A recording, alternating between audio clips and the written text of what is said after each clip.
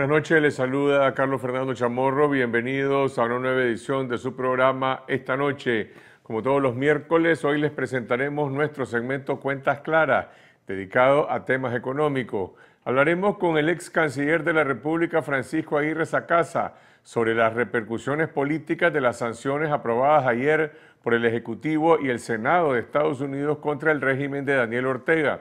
Y en la segunda parte del programa estará con nosotros el economista y expresidente de AmCham, Roger Artiaga, para analizar el impacto económico de estas sanciones. Empezamos con las noticias del momento. El gobierno de Estados Unidos aumentó ayer de forma contundente la presión política, económica y diplomática contra el régimen de Daniel Ortega. Primero el presidente Donald Trump emitió una orden ejecutiva que sanciona al gobierno de Nicaragua y en particular a la vicepresidenta Rosario Murillo y al asesor de Seguridad Nacional Néstor Moncada Lau. Y unas horas después, el Senado norteamericano aprobó por unanimidad la ley conocida como la Magnitsky-Nica, una fusión de los proyectos de ley conocidos como la NICA Act y la Ley de Derechos Humanos y Anticorrupción en Nicaragua, diseñada para condicionar el otorgamiento de préstamos al gobierno en los organismos multilaterales de crédito como el Banco Mundial, el Banco Interamericano de Desarrollo y el Fondo Monetario, y también para sancionar de forma individual a los funcionarios y allegados del régimen involucrados en actos de represión y corrupción.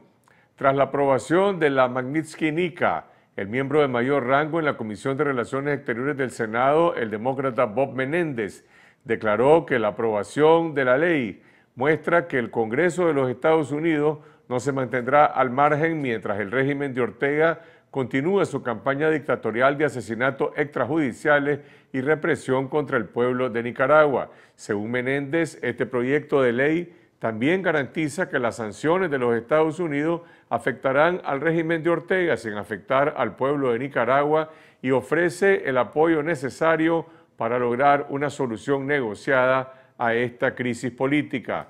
Por su parte, el régimen de Ortega emitió ayer un comunicado en el que rechaza las sanciones, las califica como un acto de injerencismo y llama a la población que está demandando su salida del poder, los califica de vendepatrias y traidores. Mientras tanto, la Alianza Cívica por la Justicia y la Democracia señaló que estas sanciones no son el resultado del intervencionismo extranjero, sino la respuesta de la comunidad internacional que no puede quedarse indiferente ante tanta represión y muerte. La Alianza califica estas sanciones como medidas extremas ante acciones extremas de injusticia perpetradas por Ortega y Murillo y responsabiliza a la pareja presidencial como causantes y responsables de las consecuencias de estas sanciones. El editorialista del diario La Prensa, Luis Sánchez Sancho, continúa en prisión preventiva como resultado de un acto de persecución política y venganza del régimen de Ortega. Luis Sánchez se vio involucrado el sábado pasado en un accidente de tránsito con un motociclista. El Ministerio Público ahora lo acusa de provocar lesiones imprudentes en contra de Otoniel Betancourt, quien desistió a través de un acuerdo extrajudicial a cualquier acción penal en contra de Sánchez. Sin embargo, este acuerdo de mediación, que lo permite la ley, no se concretó simplemente porque la policía impidió a Sánchez firmar el acuerdo y ahora lo mantiene en prisión. En otro acto de persecución a periodistas independientes, la policía amenazó al corresponsal de trinchera de la noticia, Carlos Girón, cuando salía de las instalaciones de Radio Mi Voz de León. El propietario de Radio Mi Voz, Álvaro Montalbán, también denunció el asedio y la vigilancia por parte de la Policía Nacional en las inmediaciones de la emisora. Mi colega Carlos Salinas Maldonado, presentador de este programa y editor de Confidencial, ha sido en los últimos días sujeto de persecución y amenazas por parte de motorizados que se han asentado frente a, a su residencia. Nosotros condenamos estos hechos de represión y acoso contra Carlos Salinas y los demás periodistas que están siendo atacados en los últimos días. Miguel Mora y Verónica Chávez, Jaime Arellano también de 100% Noticias, Gustavo Jarquín de Radio Corporación, los colegas de Radio Darí y Canal 12, y reiteramos el compromiso de la prensa independiente de rechazar categóricamente la censura y no someternos jamás ante la autocensura que promueven las amenazas de la dictadura.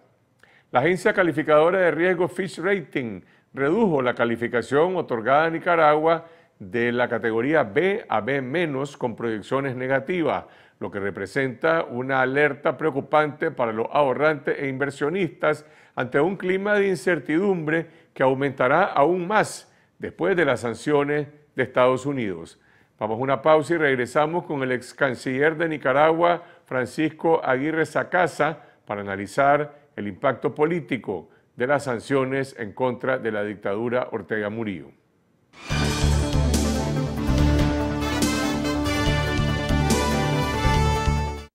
Y ahora vamos a analizar el impacto político de las sanciones del Ejecutivo y del Senado norteamericano contra el régimen de Daniel Ortega. Nos comunicamos vía Skype con el ex canciller de la República, Francisco Aguirre Sacasa, quien se encuentra en Washington, la capital de Estados Unidos. Buenas noches, Francisco. La orden ejecutiva que emitió ayer el presidente Trump contra el gobierno de Nicaragua, ¿se esperaba antes de la aprobación de la NICA Act o es una acción que ha tomado por sorpresa al presidente Ortega? Mira, eh, Carlos Fernando, yo creo que la acción de Trump en realidad tomó por sorpresa a todo el mundo, no solo al gobierno de Nicaragua. Todos estábamos con los ojos puestos en lo que iba a pasar en el Senado.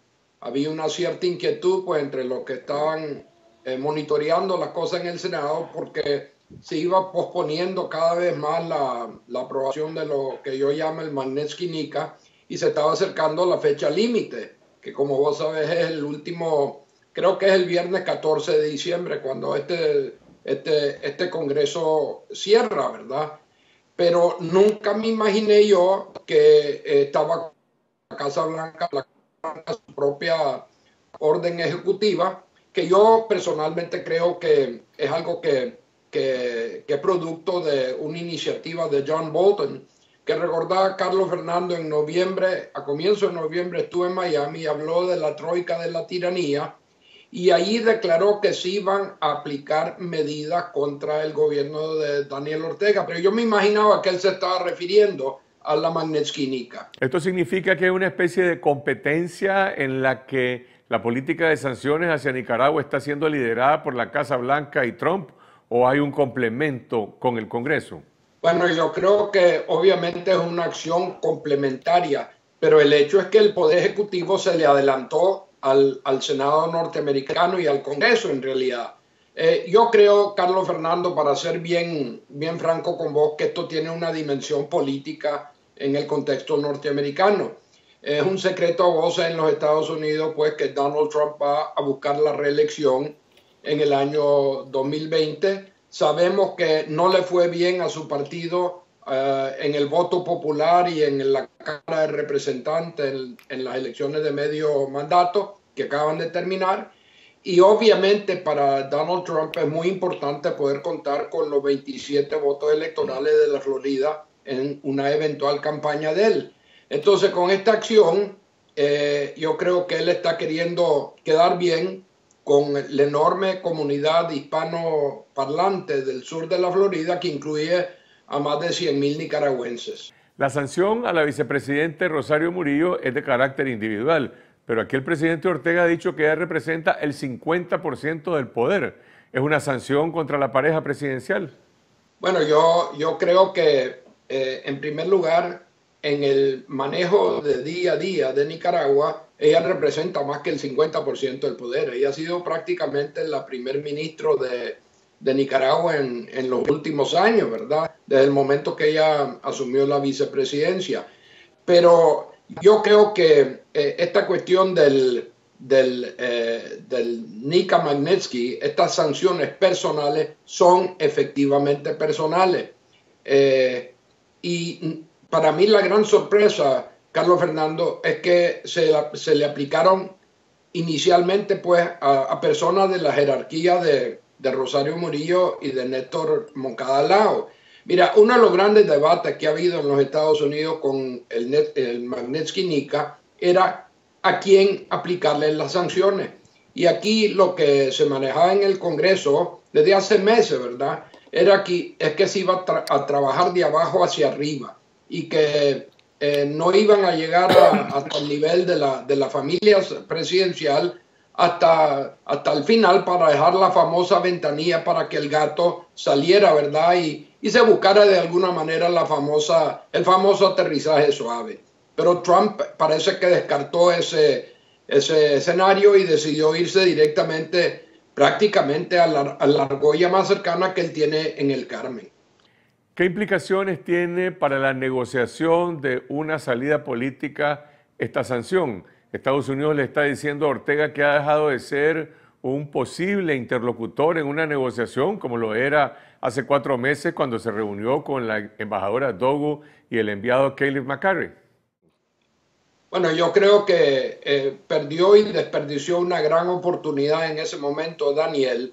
Fue muy mal asesorado en esos momentos Daniel al no aceptar eh, una salida que hubiera sido a, lo mejor airiosa para él y los miembros de su familia. Primer punto. Segundo eh, punto, yo creo que nunca se debe de descartar la posibilidad de una salida negociada. Es más, acabo de recibir el comunicado de, de prensa de la oficina de Bob Menéndez y ellos destacan que siempre están interesados en buscar una salida negociada en Nicaragua. Eh, la gran pregunta, sin embargo, que uno se hace es eh, cuán eh, abierto está eso el Carmen, porque la verdad es que el actuar de, de Daniel en los últimos meses ha sido errático. En realidad, el año 2016 no, no parece estar siendo bien asesorado o no comprender cuál es su posición, porque en este momento él tiene, él, él decretó eh, ir con todo en contra de la, en contra de las marchas, ¿verdad? Pacíficas que iban en Nicaragua. Y ahora lo que, lo que yo estoy viendo es que los Estados Unidos va con todo contra él. ¿Cómo valoras la reacción del gobierno de Nicaragua ante estas sanciones en estas primeras 24 horas? Ayer emitió un comunicado en el que las rechaza de manera tajante. Hoy fueron ignoradas en el mensaje radial de la vicepresidenta Murillo, pero hay un hermetismo que sugiere que aún no hemos visto una reacción definitiva. Bueno, yo creo que en los Estados Unidos, volviendo al tema o tomando el tema de la represión, eh, hubo un momento en que algunos norteamericanos empezaron a decir que el número de muertos estaba disminuyendo, que el número de heridos estaba disminuyendo y a lo mejor se estaba creando una, un ambiente acá de que las cosas paulatinamente estaban regresando a la normalidad acá. Pero eso cambió, Carlos Fernando, cuando empezó la persecución eh, individual en Nicaragua y el acoso a los medios independientes de Nicaragua. Eh, yo creo que eso despertó otra vez eh, la ira que hay en el Congreso norteamericano y que eso, eso es lo que ayudó a que esta ley fuese aprobada finalmente a como debería de haber sido aprobada o tenía que ser aprobada que es antes del 14 de, de diciembre. Sin embargo, en distintos sectores del país existe la preocupación de que Ortega podría responder con más represión. Bueno, eso sería un error garrafal en este momento porque honestamente las estrellas están alineadas en contra de él aquí en, en, en, Washington. Y, y, a pesar de que, como vos sabes, eh, Carlos Fernando, la capital está muy dividida, que hay una polarización enorme. Sin embargo, para el tema de Nicaragua, Carlos Fernando, tanto los demócratas como los republicanos, la administración como el Congreso, todos están trabajando de una manera unida para tratar de buscar una salida democrática y anticipada, que lo dice específicamente la ley Nika Magnetsky, a la crisis de Nicaragua. Eh, yo creo que yo creo que la bola está en la cancha de Daniel ahora. Y si él no juega su carta muy inteligentemente, eh, yo, yo, temo decírtelo, pero yo creo que van a, van a, van a apretarle mucho más la tuerca a él y a su más allegado, incluyendo los otros miembros de su familia. La NICA Act, aprobada por el Senado, se enfoca en sanciones individuales, pero también en el condicionamiento de los préstamos en organismos internacionales. ¿Cómo se perfila el impacto de esta ley en el Banco Mundial, el BID y el Fondo Monetario en los que Estados Unidos tiene una influencia predominante? Eh, Carlos Fernando, la situación de Nicaragua ha estado influyendo en la manera de actuar de las IFI que vos mencionaste, el BID, el Banco Mundial y el Fondo Monetario desde, desde abril. Eh, si vos ves lo que ha pasado con los desembolsos, si vos ves lo de, estas, de estas dos instituciones, porque el fondo en este momento no está desembolsándole nada a Nicaragua, no tiene programa con Nicaragua, pero tanto en el BID como en el Banco Mundial los desembolsos se han reducido eh, por razones, dicen ellos, de seguridad que afecta la, la capacidad de ejecución de los proyectos y también, francamente, por, por el, eh, el, el, la situación tan desastrosa en que se encuentra nuestro, nuestro país en este momento. No se están aprobando nuevos préstamos, Carlos Fernando. Pero eh, vos mencionaste el papel que los Estados Unidos juegan estas instituciones. Y aunque es cierto que no tiene el poder de veto legal, tiene un papel decisivo en los tres. Es el accionista más importante. Y te aseguro, habiendo sido miembro del gabinete del, de tres presidentes del Banco Mundial, que eh, los Estados Unidos lo único que tiene que hacer es pedirle a John Bolton que llame al presidente Ken, por ejemplo, del Banco Mundial, y decirle que él tiene que engavetar futuros proyectos para Nicaragua y eso pasará. Pero sobre todo, con toda la constelación de países como los principales del BID, Brasil, Argentina, Colombia, México, etcétera, que en el BID eh, le dan mucho más que el 50% de los votos a los Estados Unidos. Francisco, estas sanciones representan el momento de mayor deterioro de las relaciones entre Ortega y Estados Unidos y también el momento de mayor presión internacional en contra del régimen, pero se produce en un momento en que la oposición azul y blanco se encuentra sometida a la mayor represión. ¿Qué impacto puede tener la presión externa cuando la presión interna está siendo reprimida? El control policial, diría yo, y parapolicial, ¿verdad? No militar. Mira, Carlos Fernando, yo creo que eh, eh, lo que estamos viendo nosotros es un sector internacional que a lo mejor siente un cierto remordimiento, porque cuando estaba la población civil marchando, cuando pusieron, pusimos nosotros más de medio millón de nicaragüenses en una ocasión y en varias marchas más de 150 mil nicaragüenses, eh, quedaron un poco de los brazos cruzados eh, la, la comunidad internacional. Yo creo que ellos se percatan de que es muy difícil mantener el tipo de presión interna que estábamos teniendo, sobre todo que ahora el gobierno rehusó darle permiso a la Alianza Azul y Blanco de realizar una marcha el domingo pasado. Y que eso en gran parte también ayudó a que eh, el Congreso y, y, la, y la Casa Blanca tomaran carta en este asunto. Yo creo que ellos saben que en este momento, este es el momento de la comunidad internacional y si fuera a continuar con la represión o a aumentar la represión, Daniel, como te digo, yo creo que él se encontraría en una situación personalmente muy, muy perjudicada para él y su familia. Gracias al doctor Francisco Aguirre Sacasa desde Washington. Vamos a una pausa y seguiremos hablando sobre este tema y el impacto económico de las sanciones con el expresidente de AmCham, Roger Arteaga.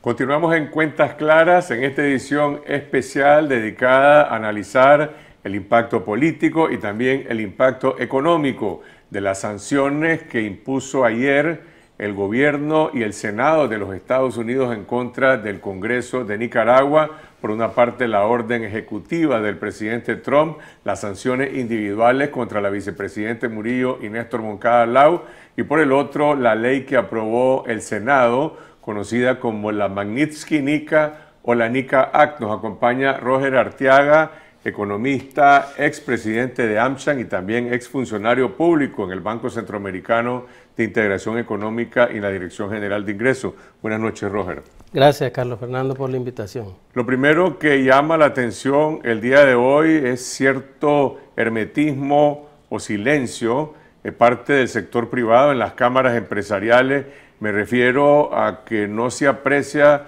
cuál es su posición, cuál es su reacción ante la gravedad de estas sanciones y el impacto que tiene. No hay un pronunciamiento hoy, por lo menos, de COSEP, de AmCham y de otras instituciones. Eh, bueno, la verdad es que los agarró desprevenidos por un factor, Carlos Fernando, que lo de la NICA se esperaba, porque esto se viene anunciando desde el 2017, de octubre, cuando Ileana, Ileana Ross la propuso en el, en, el Congreso y la aprobaron. Sin embargo, viene a pegarse con una resolución del Ejecutivo donde pone severas sanciones a una vicepresidente de un país, ¿verdad? que no es un funcionario eh, de gobierno, sino una vicepresidente.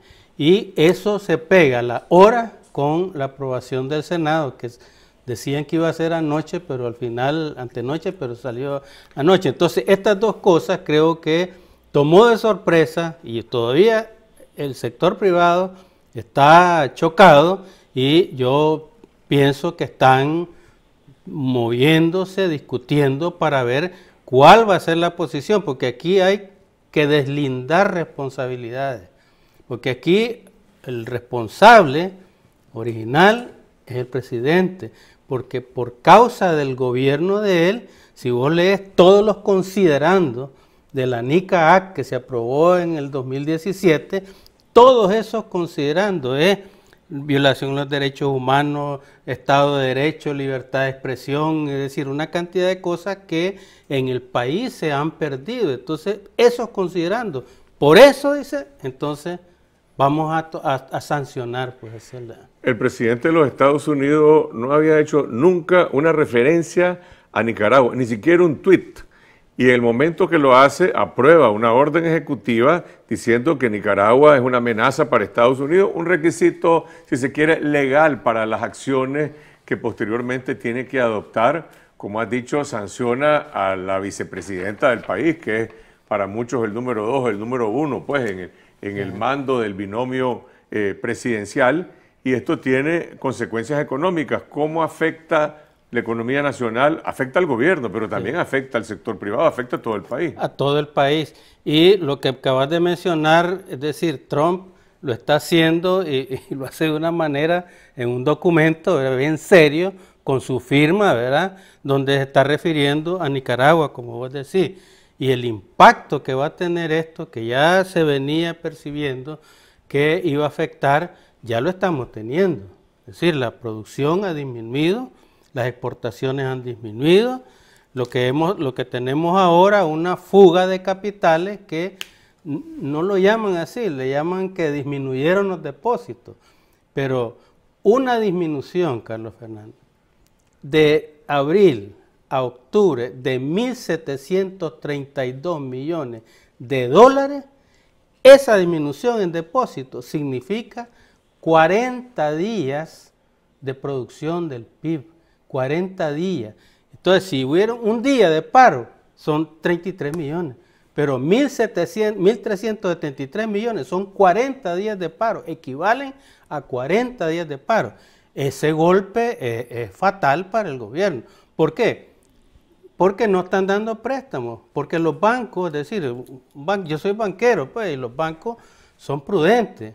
Es decir, vos no podés estar colocando dinero que te lo dio el ahorrante. Porque si el ahorrante viene y te dice, dame mi plata, entonces vos tenés que, no vas a irle a decir al que le prestaste, devolvémelo porque me lo está pidiendo el que me lo prestó. Entonces, por prudencia, se llevaron de encuentro, primero al turismo no hay crédito, al comercio no hay crédito, a la industria no hay crédito, a la agricultura es la más sacrificada, pues.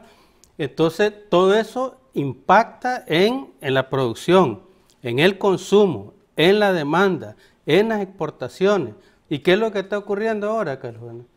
Que lo que está exportando Nicaragua, lo que está recibiendo de exportación en Nicaragua, son remesas. Entonces, estamos exportando nicaragüenses para que manden remesas. Y las remesas hoy están compitiendo con las exportaciones que genera la producción. Ayer se produjo o se conoció un informe de Fish Rating, una calificadora de riesgo que rebaja el nivel de riesgo en Nicaragua de B a menos B con proyecciones negativas. Esto se produce antes de que se conozca la aprobación de la orden ejecutiva de Trump y de la NICA. ¿Qué, qué impacto tiene esto en el ámbito del sector financiero? Y esta es la segunda vez que lo hace Fish Rating, porque ya había bajado la calificación de Nicaragua anteriormente. Esta es la última. La última lo baja de B a B menos. ¿Y ese B menos qué significa? Pues que está si ves las calificaciones de rating, está al borde de caer a la siguiente, como decís vos, lo hicieron, esa calificación es antes de las sanciones a la vicepresidenta y al señor Lao y antes de la NICAAC. Después de eso hay que esperar rating a, el rating de Fish para ver cómo interpreta esto y si eso va a hacer que Nicaragua caiga al siguiente peldaño más bajo. Que eso sí es grave, porque ahí ya quedamos con los países que están en, crisis superiores a la nuestra. Ahora, el impacto inmediato que esto tiene en los actores económicos, en los depositantes que tienen sus ahorros en el sistema financiero, en los que están todavía pensando en cómo va a proyectarse el mes de diciembre y el próximo año, decisiones de inversión, decisiones de exportación, genera esto un mayor clima de de incertidumbre o, hay acaso alguna luz al final del túnel? No, es decir, lo que provoca es más incertidumbre, porque eh, el inversionista local, cuando hablamos de que se retiraron los depósitos, ese depósito está o debajo de la cama o ya lo sacaron para bancos en el exterior. Y el que está afuera, el inversionista que está afuera, no se le va a ocurrir venir a, invertir su dinero en un país donde hay un riesgo enorme por la falta de seguridad jurídica y, de propiedades, pues, porque aquí el problema de propiedades todavía no se ha resuelto.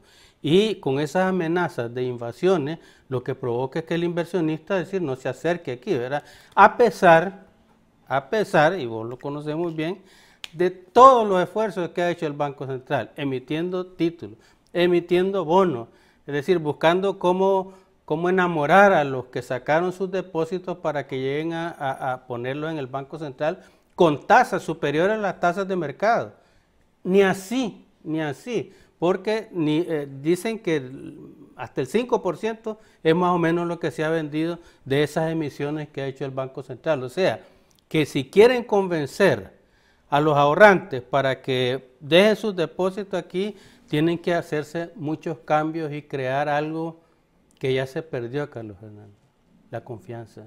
Aquí no se confía ya en el sistema ni en los que están en, cargo. El Departamento de Estado, al explicar y justificar la orden ejecutiva del presidente Trump, emitió un comunicado en el que prácticamente hace un emplazamiento al sector privado de Nicaragua. Dice, el sector privado de Nicaragua eh, no puede guardar un silencio cómplice, como que le atribuyen que todavía tuviera alguna relación con el régimen, por una parte, y por la otra dice, bueno, este es el momento de tomar acciones para buscar eh, un cambio democrático. Por el otro lado, el sector privado cabildió en contra de estas leyes, eh, liderado por el señor Carlos Pela, con la directiva de AmCham. evidentemente, las leyes han, sido aprobadas, las sanciones han sido impuestas. La pregunta es, bueno, si el responsable de esto es el presidente Ortega, como has dicho antes, el sector privado va a pronunciarse, le va a explicar a la nación cuál fue su gestión anteriormente y cuáles son las consecuencias que tiene que a causa de la política de Ortega se estén aprobando estas sanciones. Eh, bueno, ese statement que puso el Departamento de Estado donde donde dice pues que el sector privado, eh, que hasta los que queden callados tienen que responder. La verdad es que tenemos que ser honestos de que por 11 años hubo un, un, cogobierno del sector privado, del capital, con el gobierno. El gobierno veía, se metía en la política y el sector privado a producir, ¿verdad? Eso se dio por 11 años. Y esos 11 años era insostenible y eso se venía diciendo en varios programas desde hace años, pues desde el 2007 se le vino diciendo no, eso no es sostenible, lo decían en los foros internacionales y eso eh, asume cierta responsabilidad. Entonces lo que hoy el Departamento de Estado eh, está diciendo y el Tesoro es que si hubo, es decir, participación en, en un cogobierno, pues que el sector privado entienda que hoy tiene que asumir primero su responsabilidad y segundo la posición. ¿Cómo va a hacer para poder restaurar y restablecer la estabilidad y la producción económica del país? ¿Se espera algún pronunciamiento o alguna posición de los grandes empresarios del país, de las cámaras empresariales en los próximos días? no puede quedarse callado. No puede quedarse. Aquí el único que se queda callado es el gobierno, porque no habla, no dice mucho, ¿verdad? Entonces ni siquiera se sabe qué es lo que quieren, pues, que, que si dijeran qué es lo que quieren, entonces eh, del otro lado podría decir, bueno, valoremos lo que quieren y si, si es factible, hagámoslo. Si no es factible, digámosle que no se puede, pues. Pero ni siquiera eso dice. Entonces el sector privado no puede quedarse callado. Tiene que pronunciarse y fijar una posición. Y esa posición del Departamento de Estado es que se pongan en favor del Estado de Derecho, de la democracia, de la libre empresa, es decir, todas las cosas que pregona el sector privado. La ley que se aprobó ayer es diferente de la que se había propuesto originalmente por Ileana Roslettinen e incluso establece excepciones en las cuales el Ejecutivo norteamericano eh, debería de facilitar o permitir que en los organismos internacionales de crédito se otorguen estos créditos. Eh, ¿Cuál crees que puede ser el impacto económico que tenga en el país? Eh, bueno, tenés mucha razón en, afirmar de que la NICA la primera NICA que le dicen la 2.0, que fue aprobada en octubre del 2017 por iniciativa de Eliana Ro y la aprobó el Congreso, esa iniciativa original original se refería únicamente a eh, suspender el financiamiento de los organismos financieros internacionales a Nicaragua. Y eso nos llevaba de encuentro a de Manera, de manera indiscriminada. General, general. Entonces te afectaba a vos porque vos necesitas financiamiento también para, para tu empresa, el otro también, todos necesitamos. Se necesita para educación, para salud, para, para todo, pues, lo que se necesita en un país.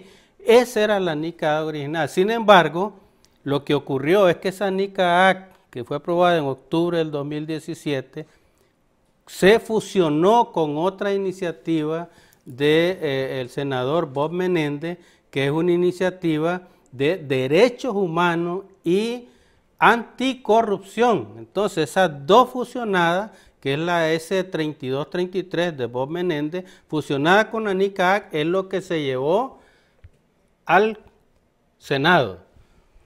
Pero como la de Bob Menéndez no ha pasado por el Congreso, entonces esa que se aprobó en el Senado, que es una fusión, tiene que ir de nuevo al Congreso, donde solo se aprobó la NICA y estas juntas fusionadas se aprueban ahí y después va al escritorio de este señor que firmó esto.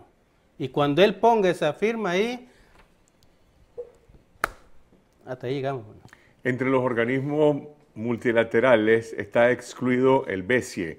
¿Cómo funciona la relación BESIE con Nicaragua? Una de las pocas informaciones o noticias que brindó hoy la vicepresidenta, por cierto, fue que el BESIE había aprobado no sé cuántos nuevos préstamos para Nicaragua, no sé si son cosas que estaban ya en la tubería o no, pero vamos, esto afecta directamente al BID, al Banco Mundial, al Fondo Monetario Internacional, al, BESIE no lo afecta. Eh, no lo afecta directamente, porque no está Estados Unidos, no tiene asiento en el BESIE. Si recordás, el BESIE es un organismo regional que lo crearon los cinco gobiernos de Centroamérica, Guatemala, El Salvador, Honduras, Nicaragua y Costa Rica. Se integraron después unos socios no fundadores que son Panamá, República Dominicana y Belice, y después unos extrarregionales que son México, República de China, Taiwán, Argentina, Colombia, España y Cuba. Estos extrarregionales tienen una característica, ellos no reciben préstamos, solo aportan al banco. Los que reciben préstamos es Guatemala, El Salvador, Honduras, Nicaragua y Costa Rica. Entonces, cuando dicen de que el BESI va a seguir financiando eh, a Nicaragua, yo tendría mis dudas y te la voy a explicar por qué. En la reunión de, la OEA, donde sancionaron a Nicaragua, los 21 países que aprobaron las sanciones para Nicaragua en la OEA, hay siete que tienen asiento en el BESIE. Y cuando una decisión en un organismo así como este, no es de una persona, no es que Perico de los Palotes, como está allá, y no es Perico de los Colochos que está aquí, ese no, no, no, no tiene que ver. No, Pero se decide por mayoría por, el, o por el peso económico, digamos, de los contribuyentes a la institución. Es, por mayoría. Entonces, hay siete países de, de, de, de los miembros del directorio del banco que, que son, que tienen asiento en el BESI. Y peor aún, del grupo de trabajo que creó esa, eh, la reunión de la OEA, de ese grupo de trabajo hay cinco que son Argentina, Colombia, Costa Rica, México, Panamá, que son miembros del BESI. O sea que si el país tiene una posición que no puede ser ambigua, no puede ser en tal parte vamos a actuar así y en tal parte vamos a actuar así. No, es posición de un país porque lo que se cogen no son personas, son países. Y estos cinco países del grupo de trabajo tienen asiento en el BESI. Así que yo tengo mis dudas de que estén esperanzados a que puedan conseguir algo del BESI porque estos señores en algún momento van a ejercer su posición en el asiento que tienen en el directorio. Que, tendría que ser la misma que tienen en la Organización de Estados Americanos. No, no podés decir una cosa allá y decir otra cosa aquí, ¿verdad? Eso, eso no, en, diplomacia eso no, ni en finanzas tampoco. Gracias, Roger Arteaga. Estaremos pendientes de la reacción de los grandes empresarios y las cámaras empresariales sobre lo que significa el hecho de que Estados Unidos, el principal socio comercial de Nicaragua, haya aprobado el día de ayer a nivel del Ejecutivo y también a nivel del Senado las más eh, graves sanciones políticas y económicas en contra del gobierno del régimen de Daniel Ortega. Gracias a ustedes por acogernos en sus hogares. Regresamos mañana con otra edición de esta noche aquí en Canal 12, siempre a las 8 de la noche. Hasta entonces.